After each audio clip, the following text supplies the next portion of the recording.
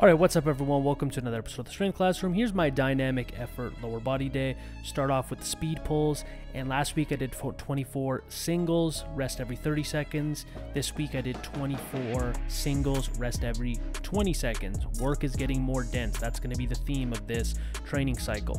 Then I did Zercher pin squats. I worked up to a heavy 5. Here you see 275 pounds for 5 reps. Uh, I went with a pretty wide stance on this. I felt like my outer quad uh, working along with my hips. Worked up to a top set of 305 for 5. It's not like a eyeballs bleeding, balls to the wall set, but it's a fairly challenging set of 5. Really helps to if you have trouble with bracing your core. Then I did three to four sets of 10 to 12 wet reps. I'm not Elmer Fudd with the glute ham raise. And as you can see, I'm raising the pad a little bit.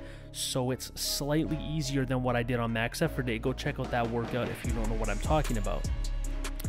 And this is a way of regressing or just a way of doing more reps if you can't do them at the standard setting.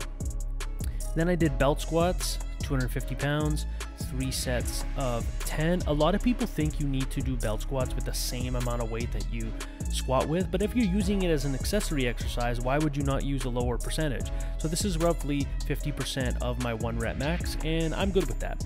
Then I came up with this, I was just racking my brain. Belt squat good mornings. Now, if you have no band around your neck, it's great for the glutes. If you have that band, it's better for the erectors. Combine them, and you got a great exercise.